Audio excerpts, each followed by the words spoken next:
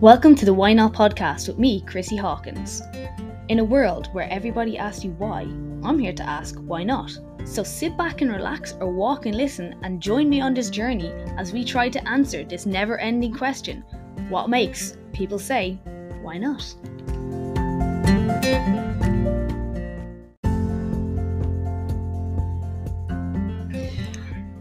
Hi, guys. So, have an interview today. If you have not heard about the Hay campaign, um, you may have been living under a rock or you mightn't be involved with horses or agriculture in general. But basically, the mental health um, awareness initiative, and I'm going to talk to the mastermind behind it, Shane Rooney, today. So, guys, I hope you enjoy this, and remember, don't forget to say to any of your friends today, hey, how are you? Hi guys, welcome back to Why Not. I have a guest for you today. So you may have heard of the Hay campaign. If you haven't, you need to check it out, especially if you're equestrian. But I actually have the mastermind behind it with me today. So this is Shane, and we're going to talk all about how he came up with it, how it just basically exploded in the last month, and yeah, pretty much all that. So welcome to the podcast, Shane. How are you? Oh, look at not too bad. I like the I like what you did there. How are you? yeah. but I think I think anyone that's been reading the Grassroots Gazette for the last month is just it's it's it's coming sort of second nature to them now. Like just it's it's the way everyone introduced. I see Shane Shane McCarthy has gone from hello everybody to hey how are you? so look at it's um it's great to be talking to you and it's it's it's great to be I suppose starting to focus now, changing it from going from say like a January a, a January campaign into a year year long campaign. Hmm. Um, mm. so yeah, no, it's it it's it, it it really just started sinking in. Um, really started sinking in there past couple of days. But um, no, we're we're going to make hay while the sun shines. Brilliant. So, just to get started, right, for anyone who may not know what it is, if they're living under a rock, like per se.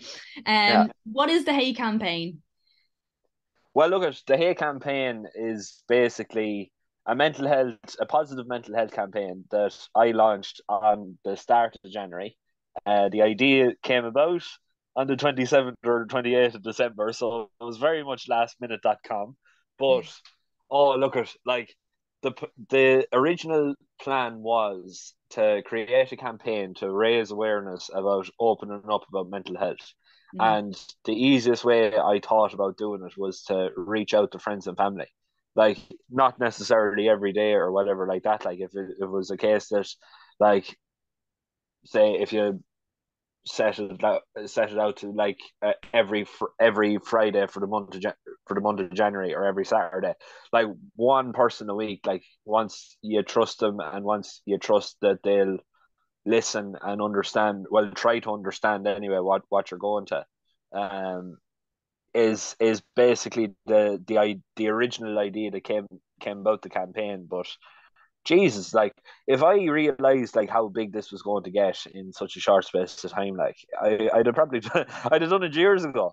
Um, honest to God, like it was absolutely it. Now look, at it took a couple of days to really sink in with people. Like people were looking like the hay campaign is like, oh, there, there, there's a shortage of hay and all this crack, like do you know. And next, and when people started seeing the videos and started looking deeper into it, they realized that right, it, the hay the hay part is is irrelevant as such. Like it's just a means of how to, I suppose, connect equestrians and the agricultural community together yeah. to be able to realize like that there is a problem with mental health in both sectors. Mm. Um. Yeah. So like the hay, obviously, it's a like an abbreviation or whatever. I can't remember the exact term for it, but it stands for yeah. hey. Like so, uh, yeah. so it stands for how are you? So asking yeah. someone how they are. And I think it is really good the way you put that in. You tied it in with hey because like if you're involved with horses, if you're involved with agriculture, you can't get away from the fecking stuff, can no, you? No, and it's it's one of the most recognizable things in any yard, whether it's agriculture, whether it's show jumping, whether it's race and breeding, dressage, eventing, like, like every one of them has at least a bale of hay or a bale of haylage or something along the lines like that tucked away into the yard somewhere. But the problem was that even though it's like the hay part was so recognizable, the one thing that wasn't recognizable was that the problem in the problem in the communities like with mental health. Um yeah. and the stigma behind opening up about the problems is is one major, major concerns. Like people were it was almost like a taboo thing. Like, like I, I'd see it myself. Like if people that I sort of knew would say walk into like a social gathering or like a pub at the weekend or something like that, like, and it just didn't seem themselves. Mm. Like people's first reaction would be like, "Oh, what the fuck is wrong with that lad?" or "What, what's, why is he so sour today?" Like, instead of thinking, right, he doesn't seem himself. I might, might just ask him and check in on him and see how he is or she is. Not mm. necessarily just men, but like I, I say, I, I say he he is like. Don't worry about that. Yeah. you know, like it's just, yeah.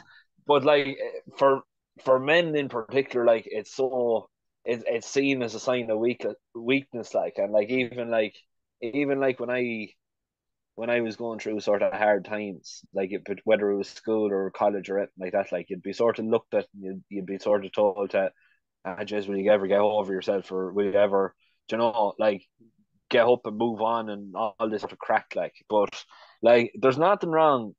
Like Brendan Murphy put it absolutely brilliant there one day, um, saying that it's okay not to be okay, but it's not okay to stay that way, and yeah. that's that's one that's that's something that's that's stuck with me and is going to I suppose stick with me for for a very very long time going about this and going about to promote this as best we can. That like it's okay not to be okay but it's not okay to stay that way.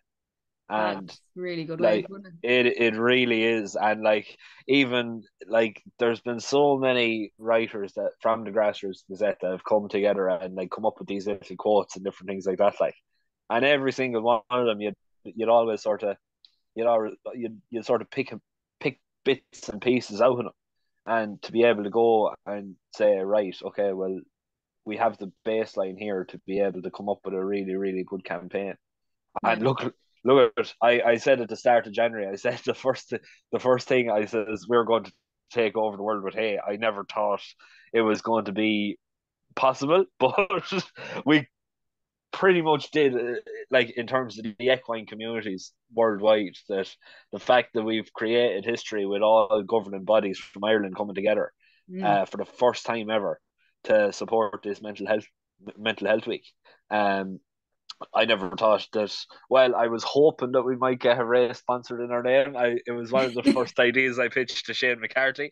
Uh, being truthful here, and Shane won't mind me saying this, but he says, "No, not a chance." He says, "Way too much planning for one like little moment. Like is it, it's something that we need to focus on at a later date." And next thing, boom, Peter Rowe comes in contact. Shane McCarthy, we want to sponsor a race in the campaign's name. but like, like, oh, look at Chrissy. Like every single day, and like I, I, I genuinely mean it when I say like the whole impact of this campaign really sort of just sunk in after January passed because every single day there was something new and every yeah. like whether it was a video or whether it was a text and or whether it was just someone saying thanks for you know coming up with a campaign that's after helping them massively mm. um like every small little thing that's been done over the past month is is really after sort of hitting home there now and it, it just it, it's not it, I wouldn't say look at it it's put me put me sort of back but it's sort of driven me forward to be able to pursue this now and to really drive forward and to make make the the equine sector and the agricultural se- sector a much better place much better place yeah. um like I I would I would definitely love to have the ag sector tied into it some way, shape, or form. Whether we do like a teamed month for people in agriculture as well. Um, Could you get something sponsored at the National Ploughing Championships? Yeah, and and so something like that. Even even if we got like a stand or something like that, like and yeah. held a few podcast episodes with say some like I know Finn Walsh, uh, he'd be one of the main um he'd be one of the main influence influencers in the agricultural sector, and he's all about the hay campaign. Like he even he even advertised it on his own his own TikTok page, like, and like yeah, like that that went out to I think one hundred and twenty five thousand people. Mm-hmm. Like that's that's how many subscribe to his channel. But like there's millions watching watching his videos every single mm. day.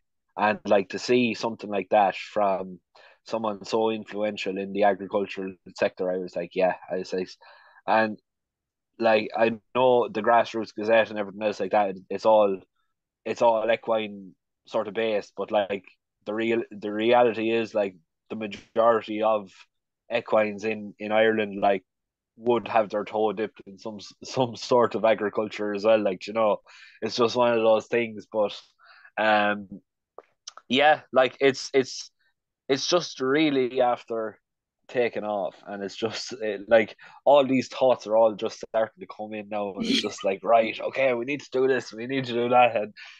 Shane McCarthy still sort of trying to pull back in the reins and tell me to slow down, but I was like, no, it's not like him. well, look at he, he's he's more. See, I, I suppose I come up with these plans, but with no real uh, organization or structure to them. Oh, so, and he's like, no, he says we have fun to chaos there. He says you need to come back now and plan this properly. He says, so yeah, like that's just um, that's just the way it is. But like we are, we are really trying to drive forward now with this, and we're very lucky with the likes of Colin Clark and Brendan Murphy as well. The two of them are hundred percent behind the campaign as well. We are really driving it forward, um, to to push for a better a, a better place uh, in the agri or the, the equine and agricultural industries. Where did the idea come from initially? Oh, oh very dark and lonely places, Chrissy. uh, look, I Myrne O'Toole is another one that came up with like a couple of these slogans that I was talking about, and she was just like instead of like saying it's a bad day or a bad week, it's it's just a week or something like that. Yeah. Like, I was just having a few days where I just wasn't myself. Like I was. It, it's it's it's a long story, and it was like it was an awful lot of it was fueled by drink, but like it was all it all sort of came about on the night of Stevens's night, and a few days after, like a couple of words were said to me that were completely untrue, and like just because they took a dislike to the industry that I'm in, um, as opposed to who I am as a person. You know, it was yeah, one of those one of those things, and but that yeah, you have to factor into racing. Yeah, yeah, right. that's that's, that's exactly it. That's exactly it, and the breeding aspect of it as well. Like like we have our own mare at home there, like that, like, and we had another mare before it, like, but um, she unfortunately died there a couple of years ago from colic, and uh, Paul. To, to be open and honest about it, like it was basically accused of sending that that poor mare to, to France for meat. Um, that uh, yeah, and and like I bought I bought that mare on the back of losing a, a very very good friend of mine called Grant Mannion, um, and it was my coping mechanism to be able to, you know, not move on or get over, but to get through the hard times. Yeah, and like when I lost when I lost Cheerio Sweetie, oh Jesus Christ, I was I was a full three months before I was back normal again if there ever if there ever is such a thing but like i really i really took that hard and i really blame myself for like i i know there was nothing i could do about it but like it was just the way i was wired i was blaming myself an awful lot for like how she went. Like she was still a young mare and she was like she was absolutely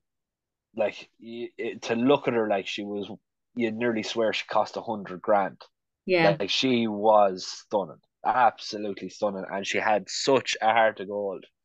Um but like even even to hear something like that, like and like this came from like great like great family friends through the years, like and it was just more so fucking drinking fused and like do you know it was Yeah. like it was it it, it just sort of not that not that it completely knocked me, but it did take me back, especially from the people that I was hearing it from. Um, Yeah. like I thought, I I definitely think that I I present myself in a great way and a great way about looking after my horses and you know keeping them keeping them as happy and as well as I possibly can. But like Mm. to hear something like that then on the back of it all, like it was just one of those, oh fucking hell, I can't ever fucking win in these situations. Like Yeah. and I just felt lonely and I just felt like it was me against the world. And Mm. I says, right, I need to look. I, I, it took, it came into my head, and I don't know how it came into my head, but I looked up, like, I looked up the statistics for, like, mental health issues in, say, like the racing industry. Yeah. I maybe it was just for consolation to see if I was the only one or not. that that was probably it. Um, and yeah, I was shocked. Like eighty percent of professional jockeys, um, that took this particular survey. I think there was fifty six in total. Uh, Mm. suffer from at least one diagnosis with mental health disorder, and um, that was fucking eye opening. And like that, that that shook me more than what was said in the pub that night. Yeah. Um, so I says, right, this is more than this, this is about more than me now. This is this is about a whole industry, and Mhm. I could only imagine. Like I know racing has, uh, I suppose, a favorable funding project from the the government and all that. Like, but like I- there is no there is nothing there for the likes of say sh- show jumping that I could find anywhere or Mm. eventing or dressage or anything like that. Like so, I says if these professionals, this amount of professionals that are suffering, like what in God's name, like what what in God's name sort of an amount is uh, of the amateurs, like say like Yeah. the show jumpers or uh, like anyone that's just sort of trying to do this as a hobby, like what are they going through and like what are they suffering as a result of it, like and um, I I I just uh, I just came up with this campaign that the fact that I felt a bit lonely and felt that like uh, I, someone to talk to was all I really needed. And next and how you came into my head, and I just says, right, how are we going to tie this in? And next thing, fingers clicked and the penny dropped, and hey came into my head. Hey being the first letter of each word. How are you? Yeah. that's that's basically the idea I pitched to Shane McCarthy, and he says, "I love the concept. I absolutely love the concept. We're going to run with this now, and we're going to really come come come at this from all from all guns blazing." And um, thank God he did because Jesus Christ, like it's been an absolutely unbelievable month, and like Yeah. I know, I know there's been some of the writers there that have had their projects put on hold and everything else like that. Like, and for that, I, I, I genuinely am sorry, and I, I, I know, like, funny, funny, funny. We should mention that. Like, it was, it was me that won the the award for most articles pulled from the Grassroots Gazette. So, like, I know, I know what's like when like it is something just is either put on hold or doesn't make the cut. Like, but Mm. um, I'm I'm glad the fact that so many people, like especially the ones that have had these projects being planned an awful lot more, uh, an awful lot longer than I had, um, got behind the campaign so well and really played a massive, massive part in in the success and the the growth of this this whole project. Yeah, I think I think everyone understood that like you know this was a big thing like so I don't think there I, I I imagine like Yeah. there's no animosity Yeah. towards it um and I think everyone would do it again if it happened but I think as well the fact that you did it in January was like such a perfect time especially for Yeah. anyone who works in agriculture or horses like people like people who are like giving out to you about your horses they don't understand the hours you spend in Yeah. the cold shoveling shite and yeah, yeah. like- that's it. That's it. And um, like we, we were we were chatting myself and Shane McCarthy were chat were chatting John Fitzgerald there one day, um, and he was like, "Yeah, timed it absolutely perfectly." He says, "If we did this six months ago, it wouldn't have worked. Mm. If we did it like a year ago, it wouldn't have worked. Eighteen months ago, we were still in COVID, like, or I Yeah. think we were anyway. Um, and it definitely wouldn't have fucking worked then, like because there was there was other things going on, but you're looking. um, yeah, like it, it just it. I I don't honestly know how it came into my head, but like I'm so glad it did because it's it's after opening, it's after opening up plenty like so many friendships as well. Like like there's people that have c- came to me, um, on the back of this and have just opened up about their whole their whole scenario and their whole life Mhm. and like what's what's going on behind the scenes and behind behind the the the screen and the Instagrams and the TikToks and Twitters and whatever. Um, like people don't realize they're that what you see is not essentially what you get. Um, Yeah. and like I I was I it's not that I was shocked to the sense that like these people could never suffer, but like they're the last people that you think would be suffering. Mm. Um, and that's like I'm so glad to the people. I'm not, and I for for respect to themselves, I'm not going to name them, but they know who they are. Um, and I could not be more proud of the way they like the bravery they showed just to be able to open up. Like like they only met me, they only met me once or twice, like maybe at like the races or the awards night there in in in November last. But like it's just it's mad how how impactful this has been. Like, do you know, like people would be like, "Oh, Jesus, how are you?" and "How are you?" Like, you need to meet them on the street, like, and people would think nothing of it. But like, I think we're after changing the meaning behind those three words. Mm. Um, and like for something so simple, I it's it seems like it's it's sort of magical, you know. Yeah. Like it, it just seems like that it it it just seems like it's too good to be true. But I get you. Yeah. But do you think do you think as well like it like I know you can always talk to someone and you probably know people you can always talk to. Yeah. But you've in a sense opened opened that dialogue and you have had people literally just like broadcast on their social media. If you want to talk, you can talk to me, which is giving people who are struggling that invite. That's why Yeah. people who are coming and talking to you, maybe they're talking to you because they don't know you. And Yeah. they think like you're not gonna judge Yeah. them like their mom, their dad, their sister, their brother, their cousins, mates, like you know. yeah, yeah. That that's that's that's. I suppose that's that's another way of looking at it as well. Mhm. Like, but like I've always I've always been. I don't know whether it's blessed or cursed, but I've always, I've always, I, I, I'll say I'm blessed. I'm, I'm, I'm I've always been blessed with a with a listening ear, and Mm. like I'd always listen to someone's problems, and I always try and not necessarily give them advice, but give them a friendly sort of push in the right direction. Um, Yeah. like that's that's the way I've always sort of been, and it's the way like granted, like granted is great. Like he's he's going on hundred and two now in another couple of months, but like he's always he's always said to me, he's like treat everyone like you would like to be treated, like and Yeah. like there's plenty of plenty of time for crack and everything else like that. Like, but like if you respect and if you be honest and open to to different people, like that's the it's the best way to live a, a happy and help, a, a happy and healthy life. do you find yourself like if you like say for instance you said you're always been great for listening to people but you say because of that you have kind of kept in your own things and you haven't talked to other oh, people Oh yeah.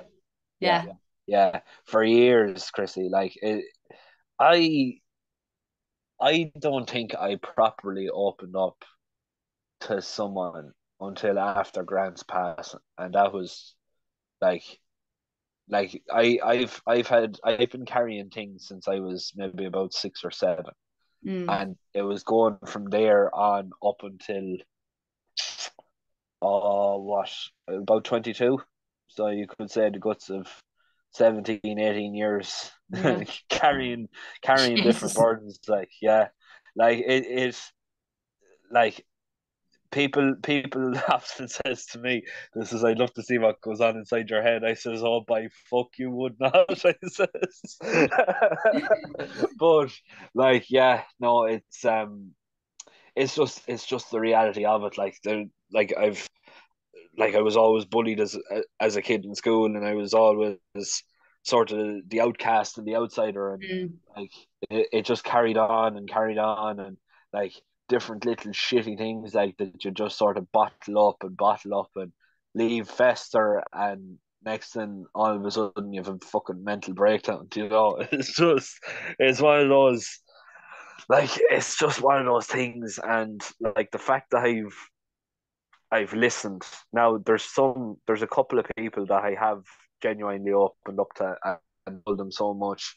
Um and I suppose since writing these particular articles about opening up about mental health and open up about my own stories as well. It's um, it's definitely helped me sort of, I suppose, loosen loo- loosen the the fuse and uh, just sort of let let a few things off my mind. Um, but like, yeah, no, for for years, Chrissy, I was I was bottling and bottling and bottling, and next and all of a sudden it just fucking went went mad.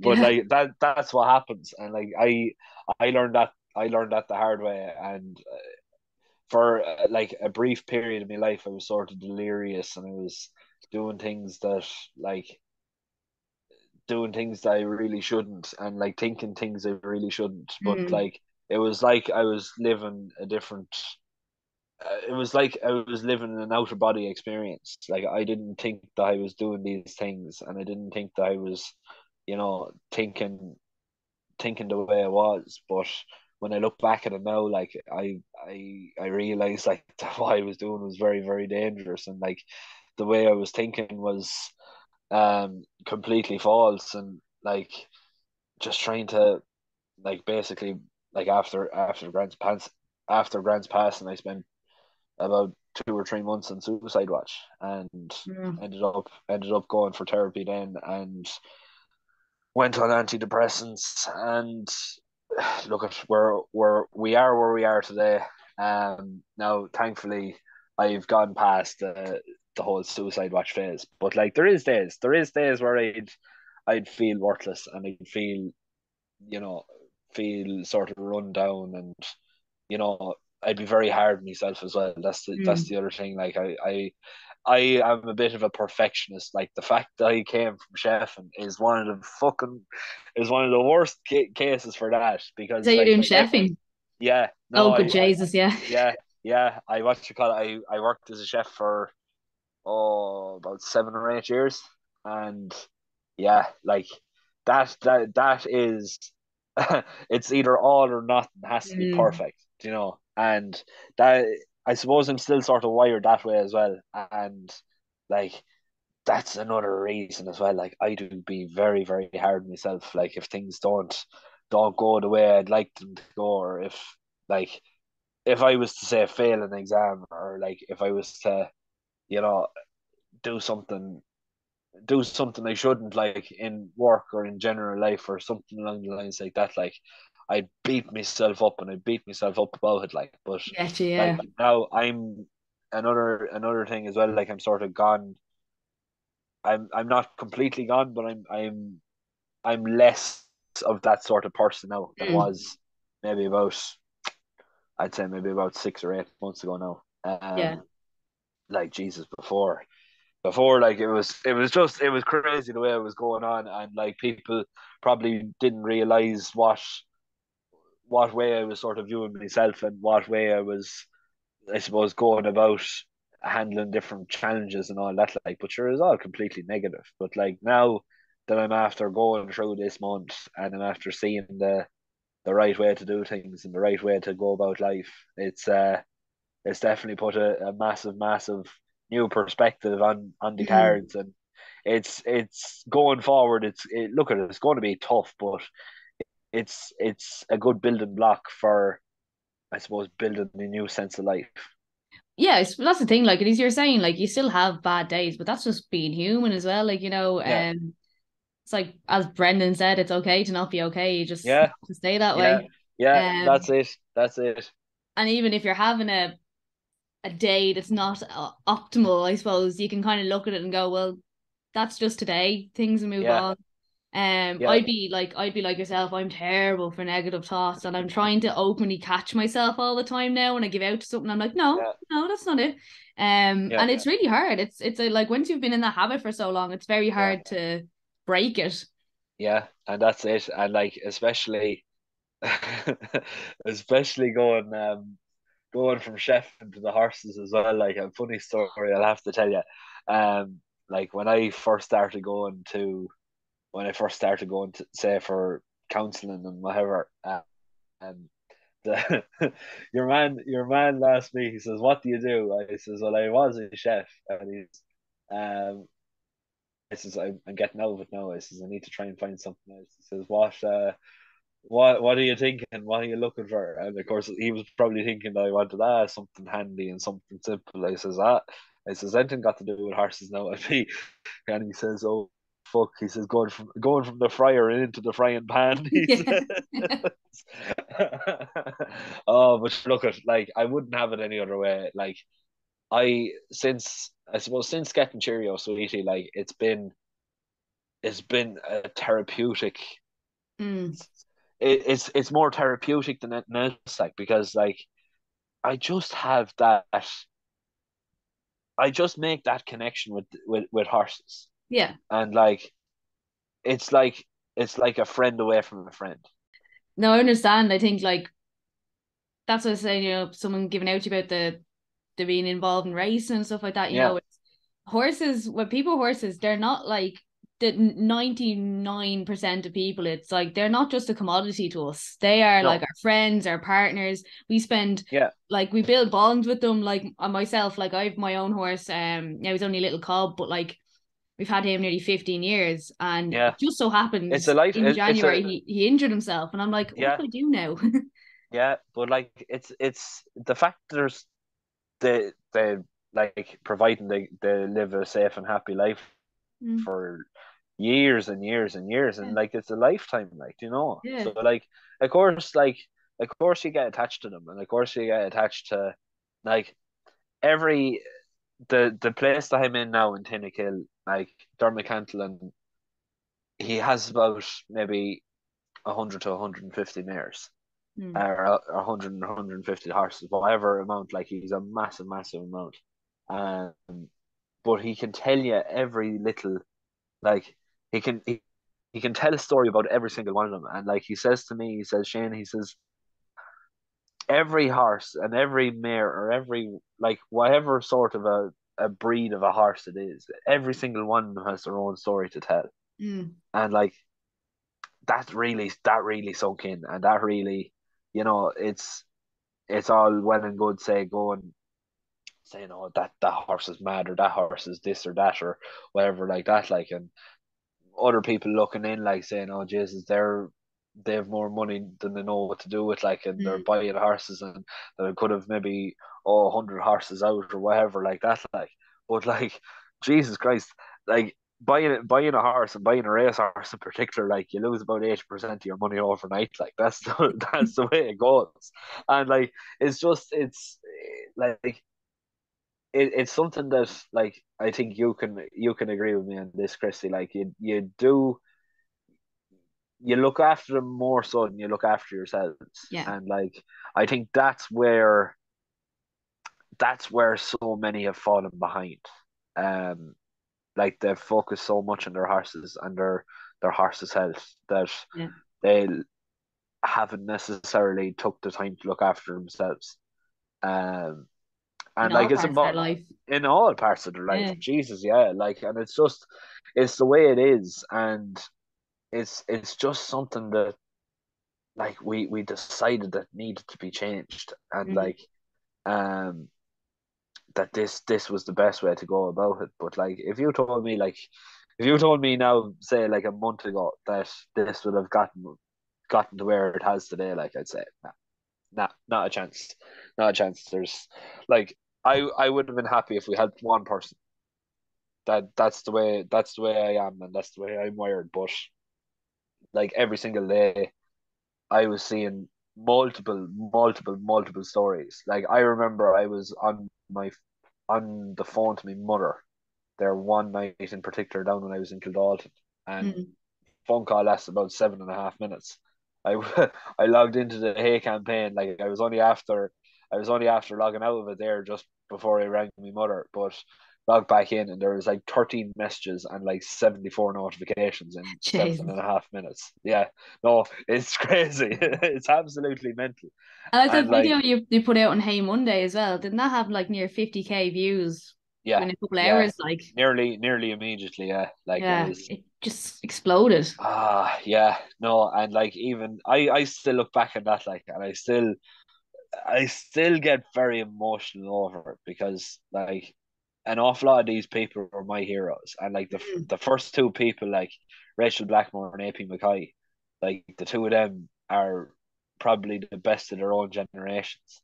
Um, and then goes into Danny Mullins then as well, and next and into Shark Hanlon and Willie Mullins and all the other like all the other sector sectors all congregate together as well for the same video as well. But like I I'd, I'd know more so the racing end of things than I would say for like show jumping or like dressage. Yeah. I, I wouldn't have a I wouldn't have a clue about dressage or like eventing or like that. Like, but like give me racing and like I I I'd be able to nearly nearly name. I'd say I'd, I'd give it a good go and naming nearly everyone in the country that's doing it. Like you know, yeah. Um, and I'm a little bit like the opposite. But even with that video, looking at it, I was like, I know all these people. Like these are yeah. big names, you know. If oh, I know yeah. them, you know. Yeah, and that's it. And like it's um, yeah, it's it's it's still in a sense sort of surreal, but I'm I'm starting to I suppose come to terms with it now. But um, like even even that day in in Fairyhouse, like yeah, when you we were, were there, on like, like cloud nine. You uh, were. I remember I went up for it. Yeah, you didn't know what like, to be doing. Mirren, Mirren took photos of me that I didn't realize she did, and like there's ones there, and I'm just looking up at the screen like this, and oh Jesus, uh, like you nearly swear there was an apparition coming up. so there was. you nearly swear the Virgin Mary was coming over the hill there, very but yeah, like it's just um, oh, like I I can't I can't put it into words like how yeah. Like how amazing it's been. Um, like it's, where's it's, next for it now? Oh, look at like I'm half thinking about setting up a podcast. Um, trying to get that sort of organized and how we're going to go about it. But um, hoping to get like hoping to have it sort of like teamed around like a friendly chat over a cup of tea or something along the lines like that, like and just talk about life and life in general and like how different people overcome the hard parts of life and I suppose prosper to what they are today. That's sort of really good idea that's sort of the the idea that's sort of coming into my head now. There's other parts as well where we're sort of half thinking about like looking down the lines of like a magazine or something like that. Um, okay. Like so, something similar to the Grassroots Gazette, but I doubt Shane McCarthy wants to do, wants to do any more magazines. Six like magazine, maybe six yeah, magazine. Oh, oh, Jesus Christ, you wouldn't know where to go. But um, I definitely like to target the agricultural shows, uh, the like the big agricultural shows over the over the next year. Um, if we could get a stand there and just, I suppose, like like what we've been doing there in Fairyhouse and yeah. Leopardstown and different things like that. Just get the word out and get. This year is going to be basically a year for, I suppose, advertising, if that makes mm. any sense. And if we can get a fundraiser set up as well to be able to, oh, you cool. know, like that's that's what that's that's probably the biggest goal I have now for the rest of the year. Like to have some sort of a fundraiser or mm. a fundraising campaign, um, and then once January first comes in of twenty twenty four, we'll be ready to strike and we'll be ready to we'll be ready to really provide a good mental health service for the equine, the ag, if if we're lucky enough to get get the the sponsorship or whatever. Um, but it's all just about planning and like how we're going to be as impactful in 2024 as we possibly can. And people are saying I'm probably saying I'm mad that I'm planning it so far in, but I want to be ready by 2024 to really take the world. You don't start planning on twenty the twenty seventh of December this year. uh, no, no, and that's that's one that's one of the mistakes I made. Um, yeah, it's one of the biggest mistakes I made with this whole campaign. But yeah, no, it's um, it's going to be well thought and well well well planned out, and there's a good team and a good solid team of maybe about five or six people there that we're all sort of working in conjunction for the one goal. And I'm very, very confident that 2024 we are going to be very, very big and uh, like a very impactful organization. Yeah, I fully believe that too as well. Um, I don't doubt it for a second. I think now that is pretty much everything I have to ask you. But okay, you are going to have to tell everyone where we can find the Help Hay campaign, how they can follow you, what they can do to get involved. Yeah, all those bits before we go. Yeah, well, okay, so we have a Facebook page, we've a TikTok page at Hay Campaign. Um the Facebook is just the the Hey How Are You campaign. Mm-hmm. The Twitter is at Hay underscore campaign and the Instagram is Hay dot campaign. Um, I tried to have them all like with the one with, with the one username, but yeah. trying to find that now is like trying to find a needle in a haystack. But um, boom, boom. nice joke. I love it. but yeah, no, it's um, that that's basically where you'll you'll find us, and like if if we have the the podcast up and running now next, make sure to just keep an eye for it and. uh hopefully that we'll be able to go target all the major say podcasting platforms and look at if if we're lucky enough to be able to monetize it then and to help start kick kickstart the campaign for I suppose getting in a mental health project or something something there just for just to be able to add a little bit extra support um for either the equine or the agriculture or whatever whatever industries that we decide it needs we'll it most. You we'll go with go both. Yeah, yeah. Go go big or go home. exactly. yeah. We're targeting it. them all. They're all getting it. Yeah, yeah. That's it. That's it. Eventually they will anyway. But uh, if we need to prioritize, it'll be probably equine first and the agriculture then after. Um, that's just that's just the way that I sort of envisage it. The fact that the majority of the the people getting behind it so far are equines is assigned to me that that's where the money needs to go. Money needs to go first if we do if we are lucky enough to raise a bit of money. Um, but I will be I will be looking into getting the agricultural scene involved as well. Yeah, definitely for sure. Yeah. I think it's I suppose in a sense it's kind of harder to get the agricultural because like say for instance like with the equestrian you can go specifically target racing, show jumping, yeah. dressage, but like what do you target when you're going to the agricultural size? Do you go yeah, it's probably I suppose the local Teagasc office or mm. some like, eh, like yeah, it's just it's even like Macra na Feirme, like the young farmers, like that's probably the best option to go if we are going. Um, and that's yeah, it's probably it's probably the place that I will be. I will be sort of targeting because like they look it's all it's all realistically the young farmers and the young yeah. like equine people that are like tend to be, I suppose, the more vocal about the whole lot, the whole yeah. lot of this, and um, it's it's great to see in a sense. But like, if we really want to get impact and everything else like that, like we need to get these people on board, and to get them like not necessarily reading off a script, but to be able to know what to say, like to someone that's showing signs that they're not totally themselves, or they might be they might be suicidal. Like I completed uh I completed a suicide uh, awareness course in the in the space of about 20 minutes there a couple of weeks ago called ohana.ie. Mm-hmm. I think it's ohana.ie or ohana.com. Look up ohana anyway. Um, very very impactful. And if anyone, I'd rather I'd rather send people towards that than I would say for like the likes of the Hay campaign or like that, like because that is realistically more important than say you know more followers or different things like that. Like yeah, I get like, you. Yeah, we want to we want to try and save as many lives as we possibly can. Well, that's it. Like, so, and I think it. I it is just a start, and you definitely will will do that. You know. Yeah, yeah. Well, look, with the help of God, anyway, that's that's the end goal. That's the yeah. end goal. If we can completely flatten the curve in the mental health sector, that's that that would be that would be job complete. I'd be able to die a happy man then. Until then, we start getting it low as we can. that's it. That's it. That's it.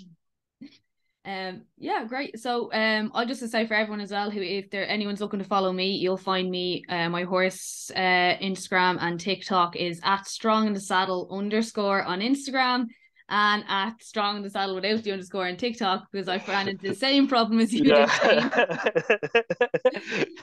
and my website is uh, chrissyhawkins.com. So just want to say thanks again for joining us, Shane. It was absolutely brilliant to talk to you about all this.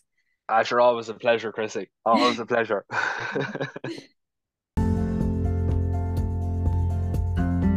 I really do appreciate everybody who listens to this podcast. So if you please could help me with the algorithm and leave a review on Apple Podcasts or Spotify. And even, you know, if you want to reach out and suggest topics for me, I'd be delighted to hear from you. Drop me a DM on Instagram or TikTok. And thanks again for listening.